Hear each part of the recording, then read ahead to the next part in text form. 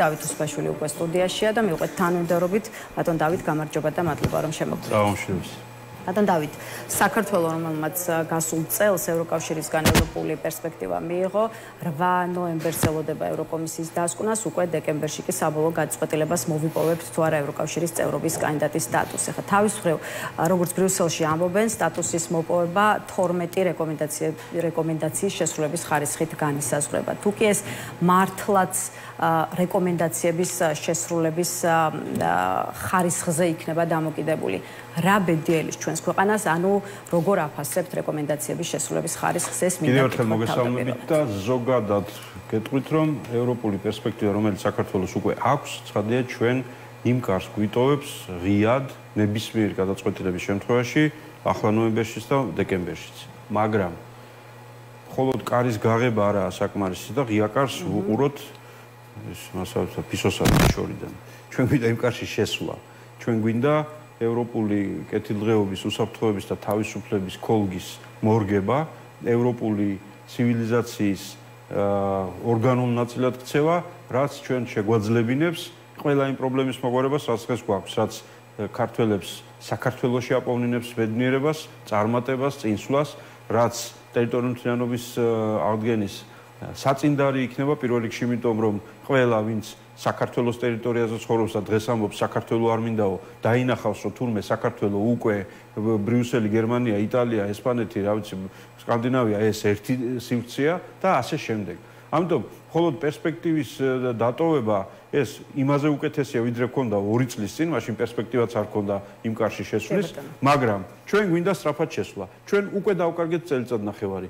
იმიტომ რომ კანდიდატის სტატუსის მიღება თავის დროზე, შარშან ზაფხულში, ჩვენ უკვე მოგცემდა საშუალებას კიდევ მეტი ნაბიჯები გადაგვედგა, მოლაპარაკებების პროცესში ყოფილიყავით უკვე ევროპასთან და ასე შემდეგ. იმიტომ რომ ამ პროცესში უკვე ბევრი რამ იწება ის სიკეთეები, რასაც ქართველი ხალხი ნახავდა და რაც განსაკუთრებით ჩვენი მტრებისთვის იქნებოდა უკვე სრულად აშკარა რომ საქართველოს შეუქცევა დადგას და მალე შევა იქ. ახლა ახლა რა შეიძლება მოხდეს ერთ შემთხვევაში, მეორე შემთხვევაში და ასე შემდეგ.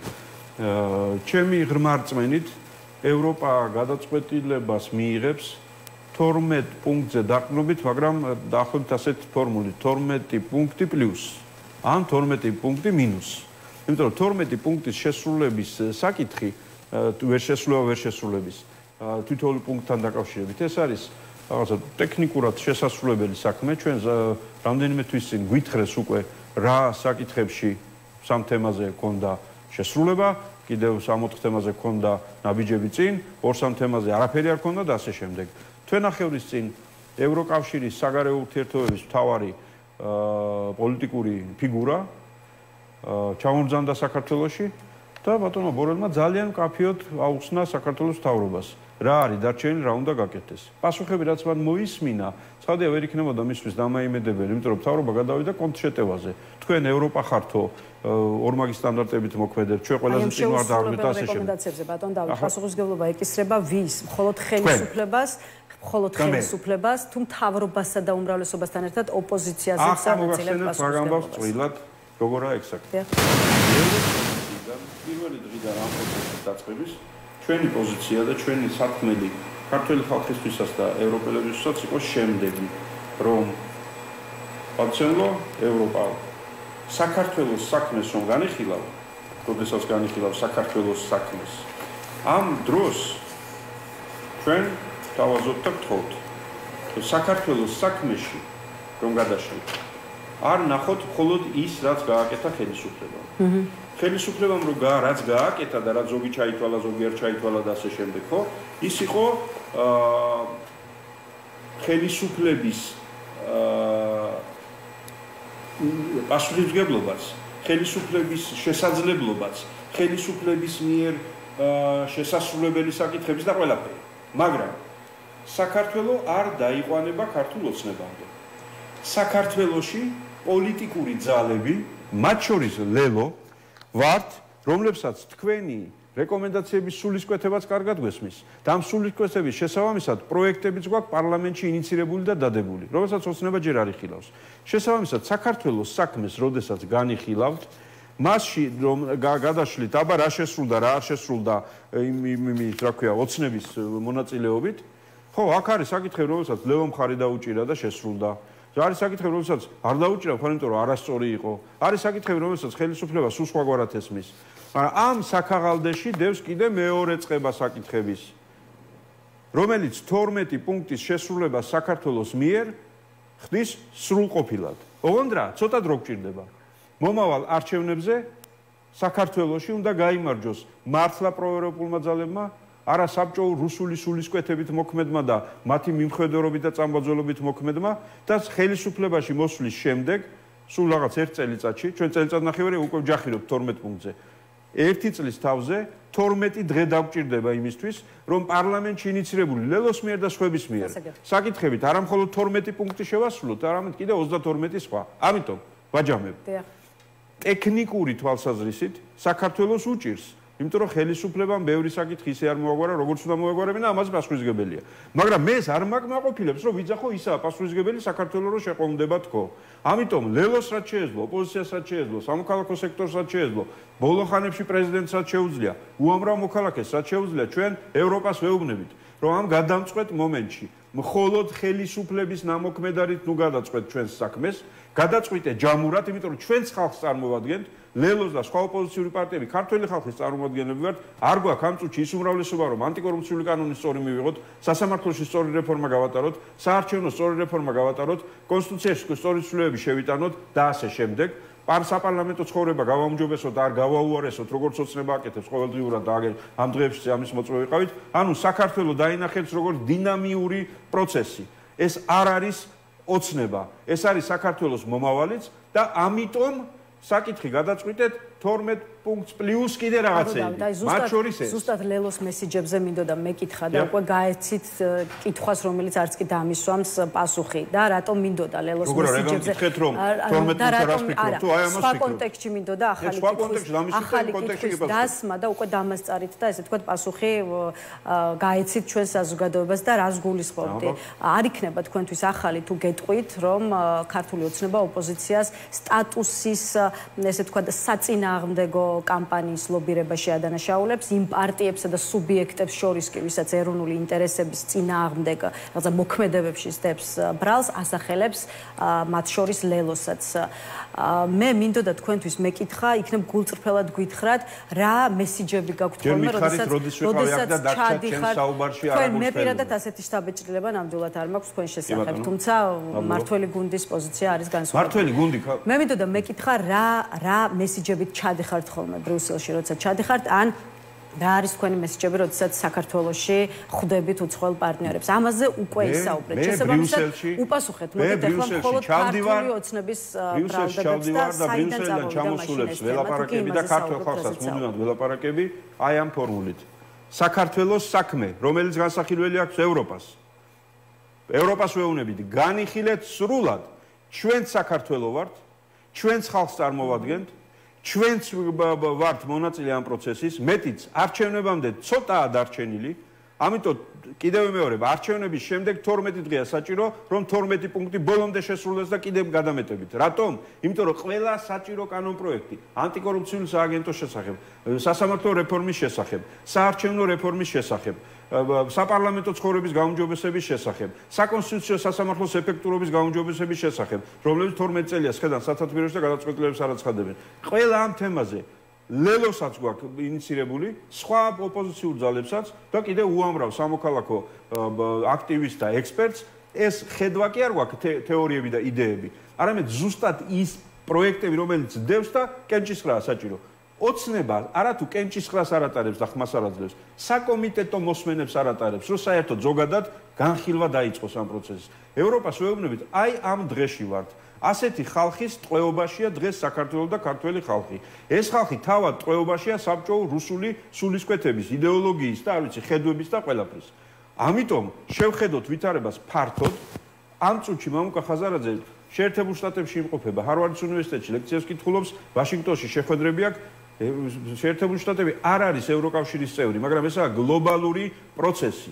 გლობალური პროცესია უკრაინის უკრაინის ომმა ძალიან ბევრი ნამ სხვაგვარად წარმოაჩინა. ამიტომ ჩვენ გვაქვს იმედი იმისა, რომ ევროპა საქართველოს დაინახავს ფართოდ, სრულად, მისი პერსპექტივით, მისი რეალობით, ქართული ხალხის უმრავლესობის ნებით და ასე შემდეგ.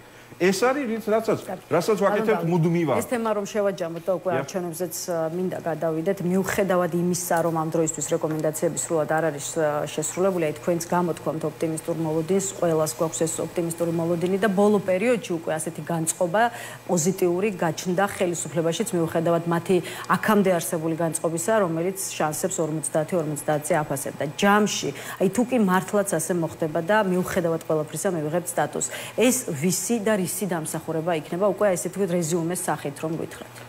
აა იცი უკაცრავად მაგრამ მე ზუსტად ამაზე ვილაპარაკე ამდენი ხანი.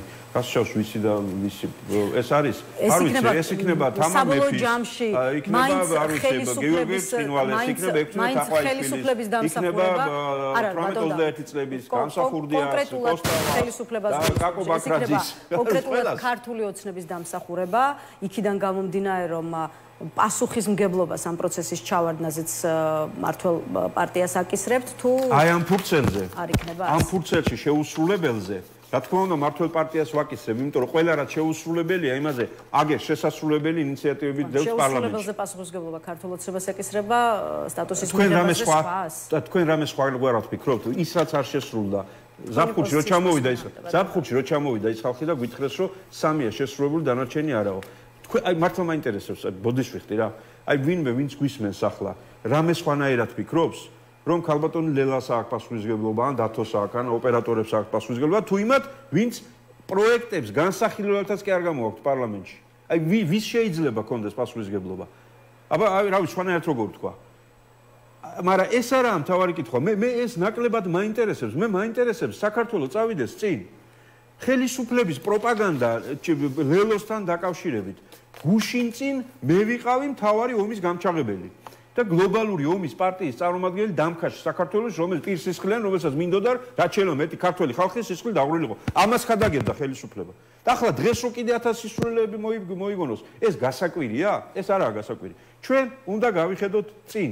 გავიხედოთ ამ ქვეყნის ეროვნული ინტერესებიდან გამომდინარე თუ არ პოლიტიკაში. თორე იწილო ბიწილო რომ იცი რა შენი ბრალია მორჩა ბრალია და გავარკვით ეს არაა მთავარი ეს სასამართლოში რჩევა ხოლმე ესაკითხები ვისი რა ბრალია?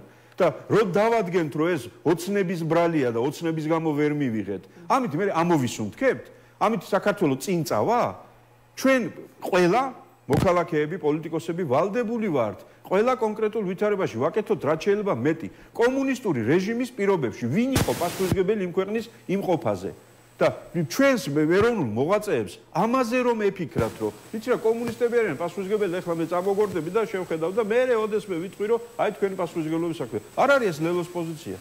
იმიტომ რომ ჩვენ ყოველ ცისმარე დღეს უნდა ვაკეთოთ იმისი მაქსიმუმი რაც შესაძლებელია და ეს შესაძლებელი ზოგჯერ ასეთ ვითარებამდე მიგვიყვანს ხოლმე იმიტომ რომ ევროპა იღებს პოლიტიკურ გადაწყვეტილებას, ტექნიკურ გადაწყვეტილებას, კრიტერიუმებზე დაფუძნებულ გადაწყვეტილებას, ჩვენ ლელო ვიცავთ ქართველი ხალხის ღირსებას. ჩვენ ევროპას ვეუბნებით, რომ თქვენ არ არ წარმოიდგინოთ, რომ ესაა მხოლოდ საქართველო. ასეთი ესაა საქართველო, რომელიც ყოველ დღე ევროპას ლანძღვაგინებას უგზავნის აქედან. ევროპის და ამერიკის წარმომადგენლებს საქართველოს წინააღმდეგ შეთქმულებაში დებს ბრალს. ომის გაჩაღებას სურვილში აბრალებს. ორმაგ სტანდარტებს შო საქართველოს რატომაც ამოიჩემეს და დაჩაგრეს. და ჩვენ ვეუბნებთ, არა, ეს ეს არ არის თელი საქართველოს. თელი საქართველოს ხვებიც არის ამ პაპკაში, რამოდენ სხვა პარტიების ნამუშევრებიც კიდე გეუბნებთ. პრეზიდენტის წვრილიცა, სამოქალაქო სექტორის წვრილიცა, თქვენი წვრილიცა, ჟურნალისტების ვინც ამას აშუქებთ. ამიტომ ამ კონკრეტულ შემთხვევაში თელმა ერმა უნდა ავიღოთ პასუხისგებლობა. მათ შორის ჩვენს ცუდზე. და ეს ქართული ოცნება არის ჩვენი ქართველების, ოღონ ჩვენ ვართ ჯერ, თენი სახელმწიფოა, ერი ვართ. ჩვენში ასეთების ურევია. ესენი ჩვენ უნდა ვზიდოთ. მათი ეს ჩვენი ტვირთია. ეგრე არ გამოდის ეს ცხოვრება რომ სახელმწიფოში ისინი მოვიდნენ აცები თქვენ ვიღაცები ხარ წაით არ მაინტერესებს იმიტომ რომ ზერმეტი ყოველ ჩაგრეცხოთ ესენი ყველას უცხოეთ აგენტებად გვაცხადებენ და არ გვაინტერესებს ჩვენ ვართ ვინც და ამ შემდეგ ასე ერი ვერ შენდება, ასე ქვეყანა ვერ შენდება, სახელმწიფო ვერ შედგება. როგორც ოჯახში რომელიმე წევს თუ რაღაცა ცუდს აკეთებს, აი ეს უნდა გამოასწორო, შენ უნდა გააკეთო ესა. არ უნდა მიცემა საშუალება გადაწვას სახლი. მოსვაში რჩება ის ოჯახის წევრად. ასეთ არის. კარგი, გასაგებია ბატონ დავით. მოდით გადავიდეთ კიდევ ერთ მნიშვნელოვან საკითხზე, არჩევნების თემასაც დაუთმოთ რამდენიმე წუთი და გკითხავთ ძალიან მარტივად, რასა და რას შორის უწევს ამორჩეველს მოქალაქეებს არჩევანის გაკეთება 2024 წლის საპარლამენტო არჩევნებს. აი, ბევრი შეფასება გვესმის, რომ ეს არის არა ჩვეულებრივი, არამედ გეოპოლიტიკური არჩევანი, რომ ამ არჩევნებმა უნდა განსაზღვროს სად ვიქნებით, ვიქნებით რუსეთში რუსეთში თუ დასავლეთში უნდა განსაზღვროს შევინარჩუნებთ გეს ვაშინგტონი ბრიუსელისკენ თუ მოსკოვისკენ და ასე შემდეგ და ასე შემდეგ. აი თქვენ რა ჭრილში უყურებთ 2024 წლის არჩევნებს? ეს არის მართლაც რიგითი საპარლამენტო არჩევნები თუ უფრო მეტი? ხო, ჩვენ არასოდეს არ გვექნება რიგით საპარლამენტო არჩევნები. აა ოშტო სანამ ხედავთ არ ვიცი კიდე ერთ საუკუნე არასოდეს არ გვექნება რიგით არჩევნები, იმიტომ რომ იმდენი საქმე გვაქვს გასაკეთებელი ჩვენი ქვეყნის ჩვენი მოქალაქეების ბედნიერებისთვის, კარგად ყოფნისთვის და ასე შემდეგ, რომ ყველა არჩევნებს ექნება თავისი სერიოზული დატვირთვა. ერთი, მეორე. ზოგადად ყველა არჩევანი ჯამში დაიყვანება სიკეთესა და ბოროტებას შორის არჩევანზე. და იმის გარჩევაზე, აი ამ კონკრეტულ ვითარებაში, სადაა სიკეთე, სადაა ბოროტება. აა მესამე, ამ კონკრეტულ შემთხვევაში საქართველოსთვის აა ხელახლა დადგა ცივილიზაციური არჩევანი.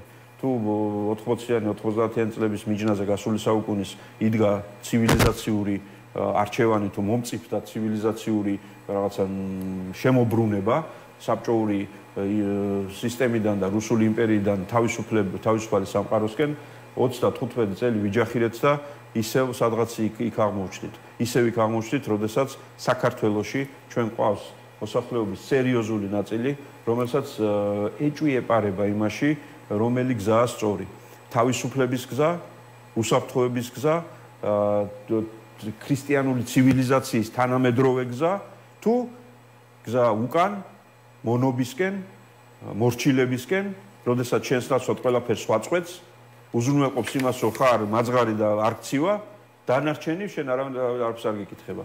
ადამიანებს, რომელსაც ჩაკლეს ამბიცია, რომ არის მოქალაქე, რომ მასაც რაღაცა ეკითხება, ჩაკლეს ეროვნული რაღაცა სულისკვეთება იმისა, რომ ჩვენ გვაქვს ჩვენი ფუნქცია დედამიწაზე, ჩვენ გვაქვს ჩვენი ფუნქცია ერების დიდ ოჯახში და ის ფუნქცია ჩვენ უნდა შევასრულოთ ამაყად და თავდაჯერებულად და არ უნდა ვეძებდეთ რამე თავშესაფარს სადღაც ვიღაცასთან თან ყველაზე უფრო მონობის მოსურნე სისტემასთან, რასაც საბჭოთა იმპერია და რუსული იმპერია ქვია და ამ ამ ამ ცივილიზაციური არჩევანის ხელახლა ამ ასეთი არჩევანის წინაშე ხელახლა დააყენეს ჩვენი მოსახლეობის გარკვეული ნაწილი ქართულმა ოცნებამ და მათმა რჩევლებმა და მათმა პატრონებმა რუსეთიდან. იმიტომ რომ რუსული პოლიტიკა ეს არნიშნავს, რომ რუსულად მეტყველებ და რუსულ სიტყვებს წარმოთქვა. ესა სულისკვეთება. სულისკვეთება იმისა, რომ ესე იგი ძალადობით უნდა შეინარჩუნო ყველა და ყველაფერი. რომ საკუთარი მოქალაქე უნდა ყავდეს როგორც არ ვიცი ჭანჭიკი როგორც იყო საბჭოთა სისტემაში. იმიტომ რომ საკმარისია დაინახონ სადმე თავისუფალი აზრის ნატამალი რომ იმას უკვე უნდა მიაკრან აგენტი. აგენტი ხარ შენ უცხო ქვეყნის. შენ ხარ იმის რა ქვია წარმომადგენელი სოფლიო შეთქმულების და ასე შემდეგ. დიახ არჩევანი ამის ამის სასარგებლოდ უნდა გაკეთდეს. ამასობაში ჩვენ გვაქვს სირთულე სირთულე იმის თაობაზე რომ ყოფილი ხელისუფლება და ყოფილი სახელმწიფო პარტია არის არანაკლებ მაშინდელი წოდებით დამძიმებული და საზოგადოებაში რა თქმა უნდა ეს ყველაფერი მოქმედებს. ამიტომ არის რომ ლელო ამიტომ არის ამ შემთხვევაში. უკაცრავად 25 წელი მაქთემა 25 არა. არა ახლა რას გულისხმობ? 20 წელი ვლაპარაკობ მაქთემაზე. 2024 წლის არჩევნების კონტექსტში. 20 წელი მაქთემაზე ვლაპარაკობ. მაშინდელ ამბებზე ვლაპარაკობ. მაშინდელ ამბებზე ვლაპარაკობ, იმით დამძიმებულია მეთქი. ამიტომ არის ძალიან მნიშვნელოვანი ახალი პოლიტიკური ძალების გააქტიურება. ესაა ლელოს მისია პოლიტიკური, ესაა ლელოს ხედვა, რომ ეს ორი პოლუსი, რომელიც ძალიან ხშირად ერთმანეთის პრობლემებად გვევლინება და ერთმანეთთან, ასე ვთქვათ, კინკლაობას გადაყვება ხოლმე ყველაფერი, ამიტომ არის ახლა კითხეთ ოცნების უნდა მოიწვიეთ და ვინ ლაპარაკობდა მანდ, გეტყვით, იმათი წარმომადგენელია. იმიტომ რომ ყველა უნდა მიგვაწებოს იმას, იმიტომ რომ ამით მარტივად გავა მე ფონს სადღაც. ეს რა ახალი ამბავია? ამიტომ რა არის, რა შორის არის არჩევანი? დღევანდელობა არ ვარგა. წარსული არ ვარგო და მომავალ მომავლისკენ უნდა გადაიდგას ნაბიჯი. ამისთვის არიან პოლიტიკური ძალები. საარჩევნო მარათონი გაიხსნება თებერვალში, მარტში. ახლა ამ წუთში ჯერ საარჩევნო კონტექსტში საუბარი ცოტა ნაადრევია. იმიტომ რომ ჯერ საარჩევნო მარათონი არ დაწყებულა. ჯერ მიმდინარეობს ძალიან სერიოზული პროცესი, სტატუსთან დაკავშირებულია და სხვა თემებია კიდევ, მაგრამ კონტურები, რისი არჩევანი უნდა გავაკეთოთ? არჩევანი თავისუფალი მომავლისკენ თუ მონური წარსულისკენ? არჩევანი 2024 წლის არჩევნებზე იქნება ასეთი. ცივილიზაციური არჩევანი იქნება, კი იქნება. იმიტომ რომ კიდევ მეორე, ჩვენმა ხელისუფლებებმა უმეტეს შემთხვევაში რაღაცეების კეთება დაიწყეს და მე ყველაფერი თავზე ჩამოგვახოს, იმიტომ რომ ერთადერთი ამოცანა დარჩათ, როგორ შეინარჩუნონ ძალაუფლება. და ის შენარჩუნებული ძალაუფლება, შენარჩუნებული ძალაუფლება, რომ პირველ რიგში მათ ღრნის შიგნიდან და იმ ტიპის მორალურ ზნეობრივ, არ ვიცი, მათ აქცევს, რასაც ხედავთ ამ დღეებში პარლამენტის ტრიბუნებიდან, ა ესაა შედეგი. ამ ეს ეს დავტოვოთ? ეს დაუშვებელი ამის დატოვება.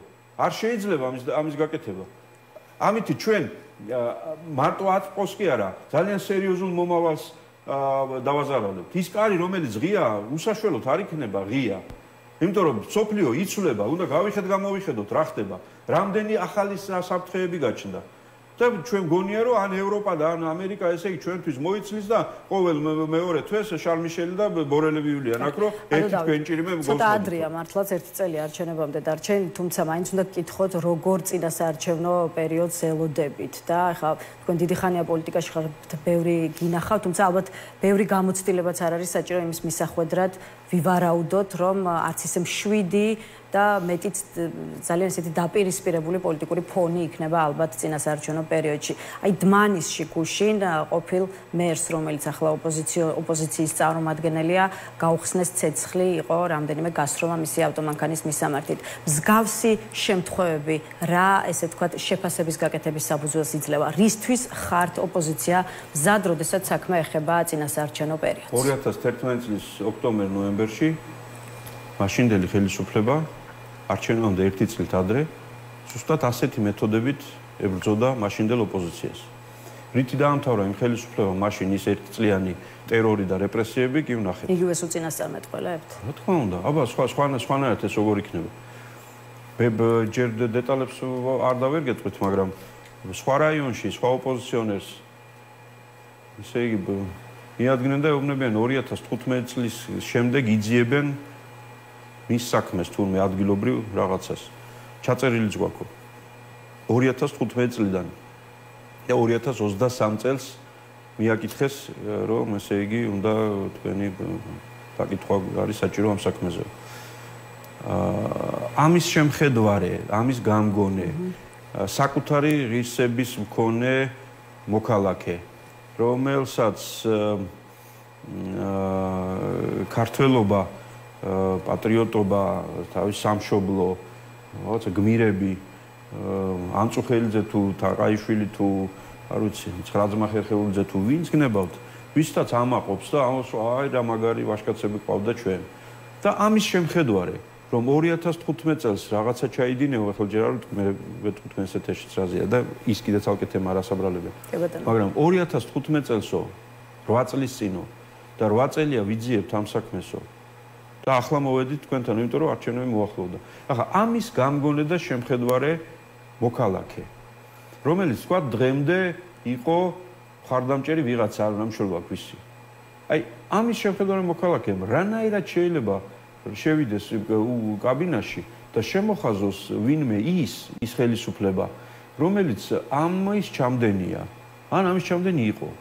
აი, რანაირად ანუ რას ვემსახურები მაშინ? მე მე ვიღავარ თუ ის ხალხი მიამაყება, ვინც ყველასთვის ჩვენთვის სიცოცხლე გაწიდეს. იშრომეს აწლეულები, იმიტომ რომ გადაერჩინათ რაღაცა. და აგეთ ჩემს ვერდი. ადამიანს ასე ეპყრობა ხელისუფლება.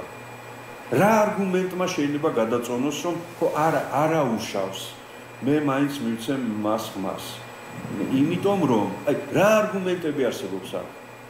ქვეყანაში არის მშვიდობა ეს პოლიტიკა რამდენად ქვეყანაში არის მშვიდობა ეს პოლიტიკა რამდენად იმუშავებს ამ მომრჩევლებზე და უკვე რამდენად მუშაობს თქვენი აზრით? მშვიდობა რას მოაქვს?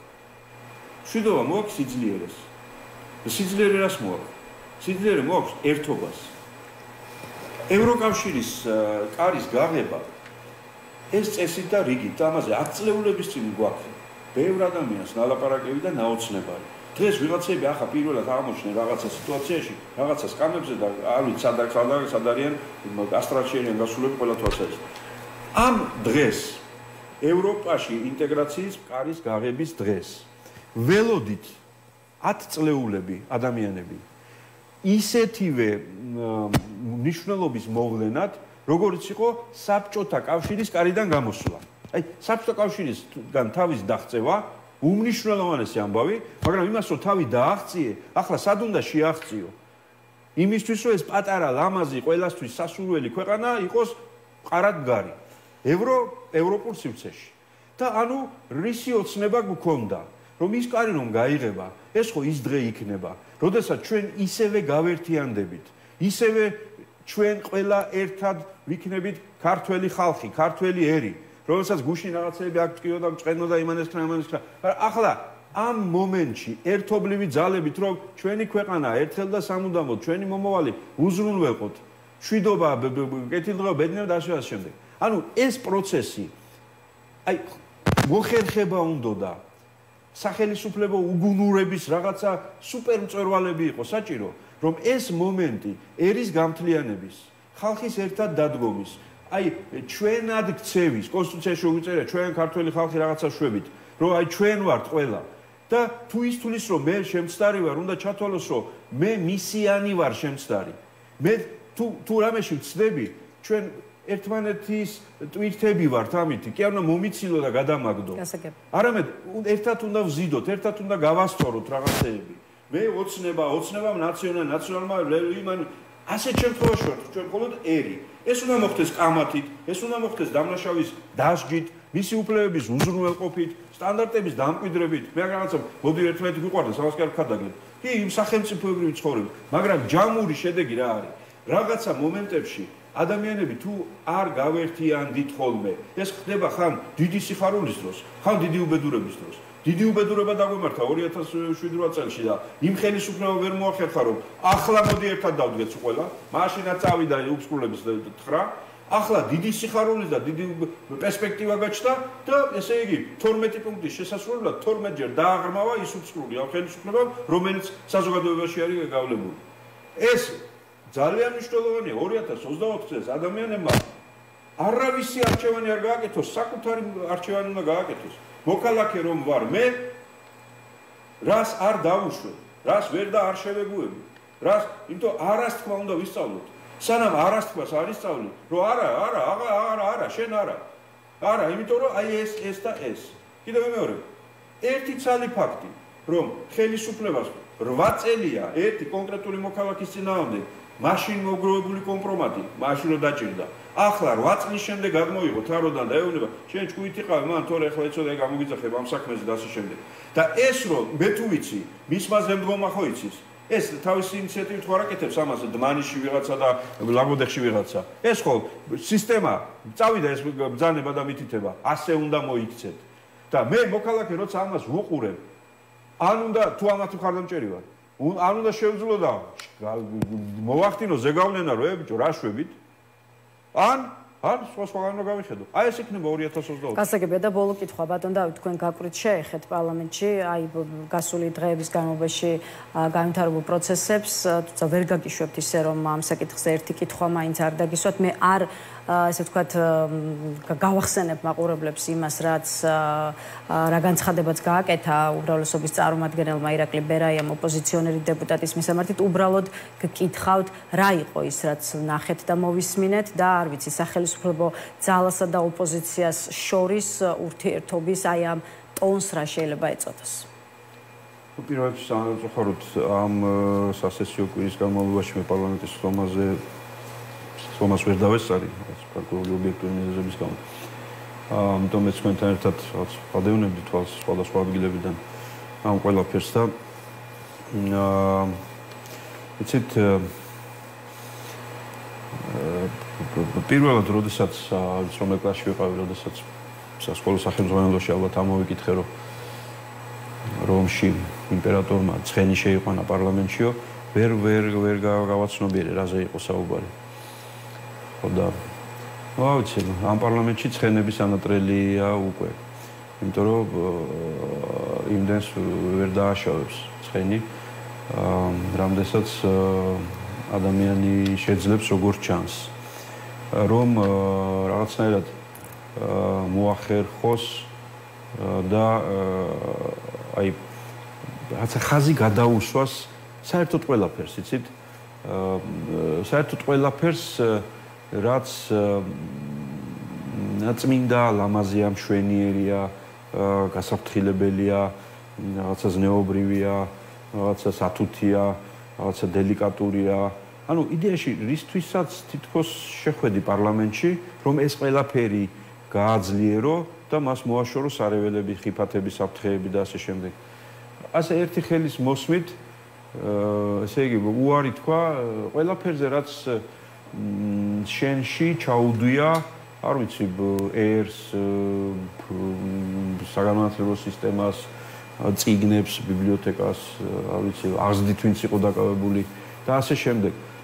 უბედურება იმაშია, რომ ესე იგი, პოლიტიკურ ანალიზს ეს ეს ეს ამბები ვერ ექვემდებარება, იმიტომ რომ იმდენად საბაზისო ზნეობრივ ადამიანურ საკითხებშია გადასული, რომ ხო რატომ მე მგონი იმიტომ რომ ეს არის ყველაზე უფრო საშინელი ფორმა მართლობის, როდესაც გვაქვს ავტორიტარული დემოკრატია. ანუ ფორმით თითქოს ცივილიზაციურ ევროპული სტანდარტებით შეკაზმული რაღაცა პროცესი და შინაარსით საბჭოთა რუსეთის საუკეთესო ტრადიციების გაგრძელება. ანუ რისი თვითმკრობელობა ერთხარეს სადაც ადამიანი ყველაფერს აკადრებს, ვიღაცას თუ კი ერთსაფეხურით ზემოთაა. მე ეს ნახე. მე აი იმ ძველ საბჭოთა კავშირის სამხედრო სამსახური მაგავლილი 2 წელი და ვიცი რა იყო ის სახელმწიფო სისტემა, ის იერარქია. როდესაც საკმარისია ერთ ერთსაფეხურით ზემოთ იგრძნო თავი, რომ ქვევით ვინც არის, ყველა არის შენი მონა მორჩილი. და თუ ერთ საფეხურით ზევით ვიღაცას ხედავ, იმას უნდა დაემონო და ასე შემდეგ. აი ამ სისტემების გაგრძელებაა ჩვენს სახელმწიფო სტრუქტურებში. ვის წინს, ვის უხარია, მეტყველად მაინტერესებს. აი სააკაშვილის სისტემა, რომელიც გაცილებით ის იყო უხეში, კაცრი, რეპრესიული, რაღაცა დარტყმელი, წამრთმევი, რაღაცა მომსპობი და ასე შემდეგ. იმ სისტემაში რამდენიმე ქვესისტემა იყო. და გვარების სახელები არ უნდა ყველა ყველას გვახსოვს, ხო? იყო რაღაცა ტიპის შიდა კონკურენცია და შიდა რაღაცა ყველაფერი ერთ ერთნაირად არ და ვერ კეთდებოდა. დღეს ჩვენ მივიღეთ სისტემა, რომელშიც ყველაფერი ექვემდებარება რაღაცაერთ ასე მორჩილებას.